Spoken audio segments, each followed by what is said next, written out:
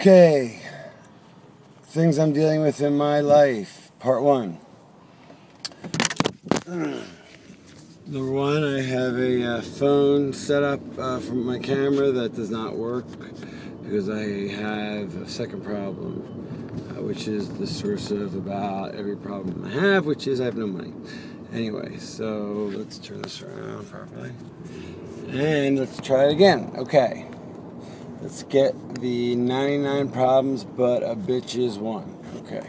No, I'm kidding. Actually, my wife is lovely, incredible, the greatest woman ever, but uh, I'm putting her through hell, so um, she's entitled to be any way she wants to be because uh, I, I really have tough for her. And the story you're about to hear is not a one-sided story. While there is an enemy, there is a antagonist, there is a uh, evil uh, villain, and that is oh, this camera. Um, there's another villain, which is the uh, the bank, uh, J.P. Morgan Chase, the largest bank in America.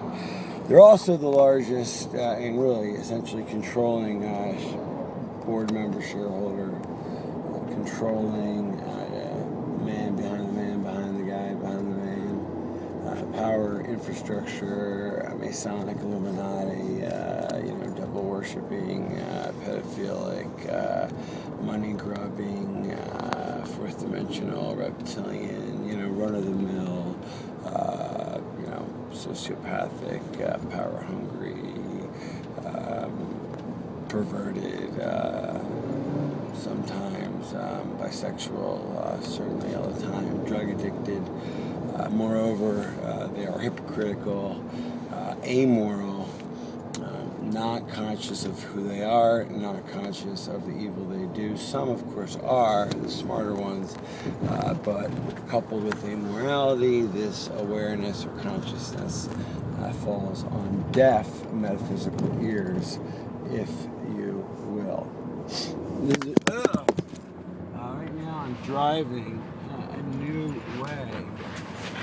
A new way, you know, obviously a new way. Knew I usually go one way. I'm going another way. And you might say, "Who gives a shit?" What's the point? Well, the point is simply that uh, this this uh, I'm going to see my my shrink of uh, almost ten years now. Uh, I've had a shrink since I, I was diagnosed with ADD while at University of Pennsylvania and NYU Film in my early 20s, and since then I've seen this guy and he's been great. Uh, he's the man. Dr. Finale or Dr. F, whatever. We'll put that out. We'll shout out to Dr. F. So anyway, uh, here's the deal. Right now I'm late to, for my strength appointment, um, uh, and uh, it's usually two hours to get there now because of this, the way I'm going. It might be a half hour, 45 minutes. I'm late as of right now. Right now it's 11:30. Right now, right. I'm not gonna. When the phone drops, I'll show you the time.